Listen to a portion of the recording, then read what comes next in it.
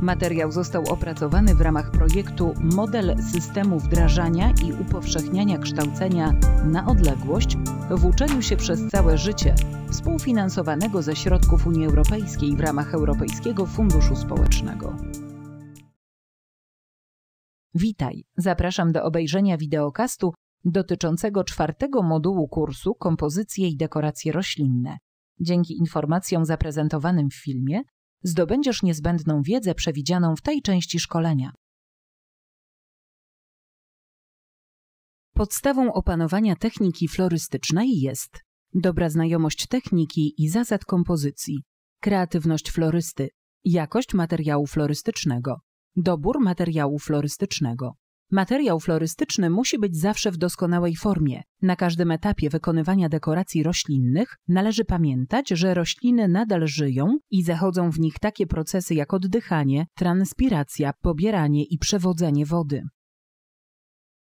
Kwiat cięty musi być zebrany w odpowiedniej fazie. Kwiaty są z natury krótkotrwałe. Ich dekoracyjność kończy się z chwilą zapylenia. Gdy zetniemy je w nieodpowiedniej fazie, stracą na swojej wartości. Utrata dekoracyjności kwiatów może polegać na opadaniu płatków, kwiatów, liści, zwijaniu i kurczeniu się płatków, np. u goździka, więdnięciu i załamywaniu się szypułki, np. u róży czy gerbery, zmianie koloru, zasychaniu płatków, działek kielicha i liści, geotropicznym wygięciu się pędu lub szypułki.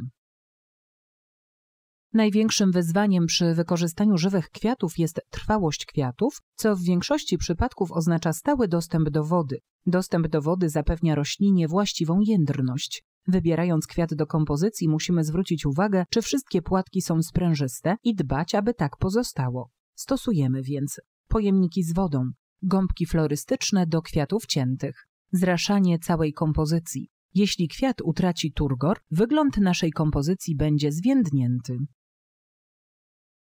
Kolor rośliny. Musimy zawsze sprawdzić kolor rośliny. Liście powinny mieć wygląd świeżej zieleni. Tylko taka kompozycja będzie spełniała dekoracyjną funkcję.